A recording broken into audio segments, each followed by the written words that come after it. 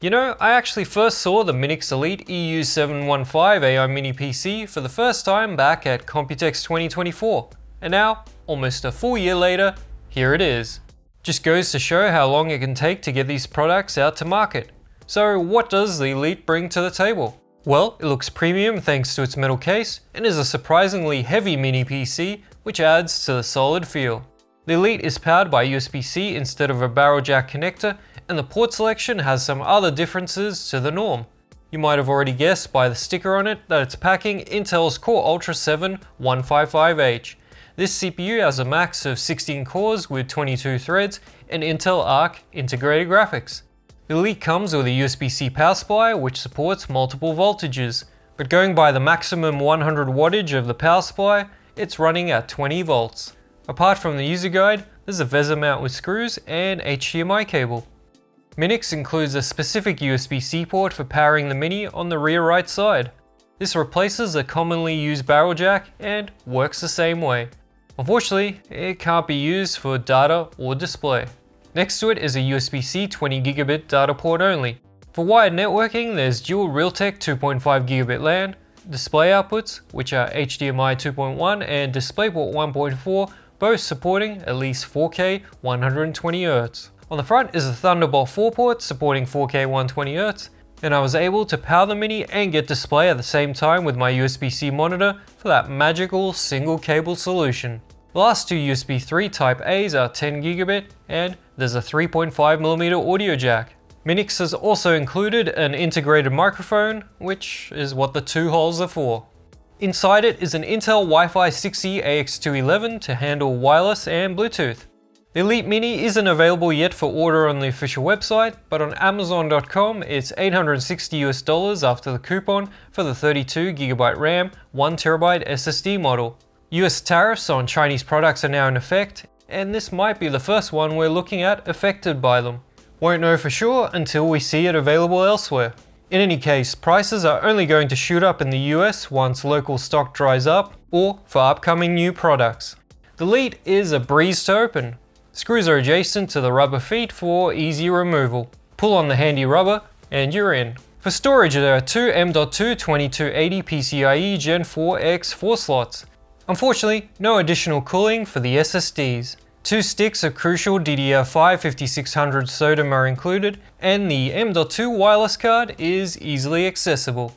Windows 11 Pro is pre-installed on the Elite. No malware or rootkits were found after a scan.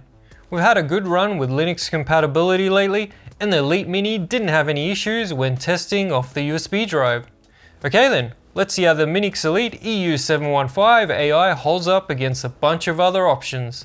With Meteor Lake CPUs, Intel lost the single core crown, and this Ultra 7 is slightly below the other one tested. It matches the Intel flagships from the previous generation. In multi-core, the Elite Mini beats the other Ultra 7 result out of the box. However, it only has one power limit option, and the GTI 14 Ultra outperforms it by 5% when enabled so it's actually closer to the Ultra 5. Geekbench single core mimics the Cinebench results. There's a bunch of minis outperforming it. In multi-core, the GTI 14 Ultra took the win with its default power mode by a very small margin and is up 6% with its power limit increased. In video encoding, the Mini has a similar result to the Ultra 5, if a bit behind. Switching to AV1 video encoding, the GTI 14 Ultra 7 is far ahead with this longer test. If we switch to AV1 hardware encoding and offload the work to the iGPU, the Minix is one of the lower performers, with a couple of Ultra 5s and 7s coming out ahead. As you might have guessed by the model name, Minix is pushing AI with this mini PC and the 155H inside has similar AI CPU performance to the 13900HK. GPU AI performance is all over the place, only beating the Ryzen 6600H in half precision. It's not just AI though, the Elite Mini has lower than expected integrated graphics results. In 3D Mark Firestrike DX11, it's only hitting the 6000s, while the GTI 14 Ultra hit almost 9000, a 40% increase. The TimeSpy DX12 results sees an improvement, but it's still behind the other Ultra Minis and the GTI 14 is up by almost 33%. Finally, the DX12 Steel Nomad Lite result follows the same trend and is 34% lower than the GTI 14 Mini PC. An audio latency test with Cinebench running in the background failed with high DPC execution time. I'd put this one down to CPU thermal throttling. Video editing is still an area Intel has AMD beat with its superior media decoder, and that's a good usage case for this mini PC. Since there are older and weaker Intel CPUs that handle 4K video editing fine, it's no surprise that this one does as well. Game-wise, all the esports games tested play pretty well at 1080p.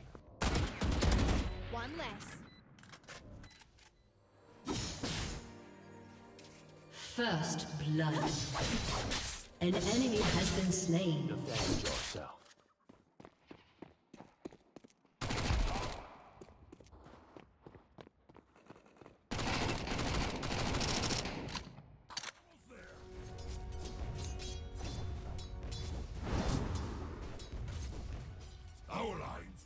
AAA games on the other hand don't do too well, especially with a lower GPU performance.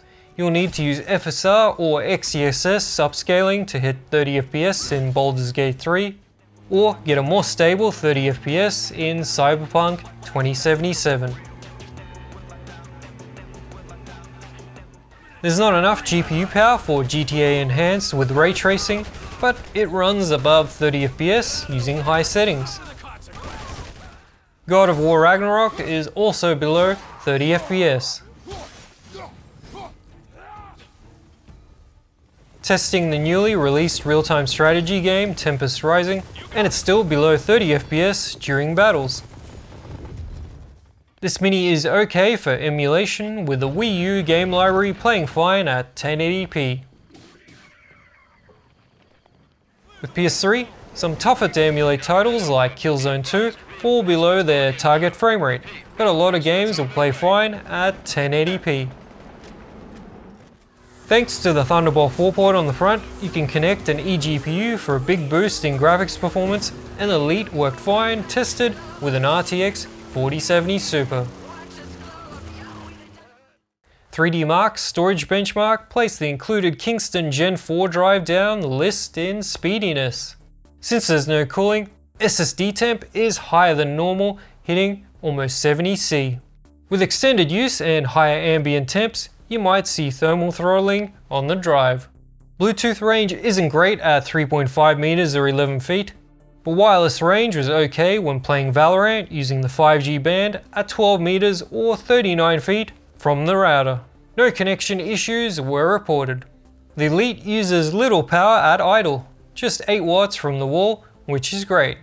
The maximum power draw only hit 84 watts, which isn't much for an Ultra 7 CPU.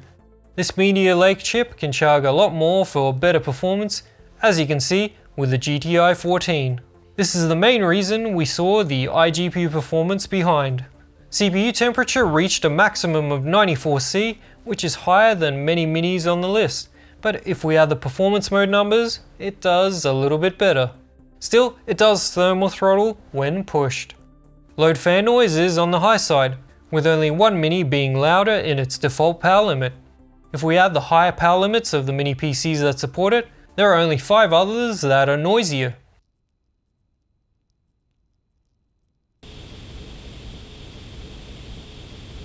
This Mini doesn't take up much space and is definitely smaller than the GTI 14 Ultra. The key you need to mash on startup to get into the BIOS is delete. Unfortunately, there aren't a lot of settings here. You can't change the fan curve or the power limit. In power settings, you've got the power loss options and wake on LAN. That's it really. So with all that out of the way, we come to the pros and cons. The Minix Elite features a nice middle case. It's powered by USB-C, making it easy to find a replacement power supply if needed. It's also easy to open.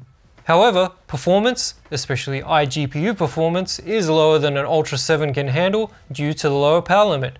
There's no cooling on the SSDs, load fan noise is high, as is the price. In the US at least. So, that's the Minix Elite EU715 AI. As it is currently, the price needs to come down to make it more competitive and the rest has been covered already.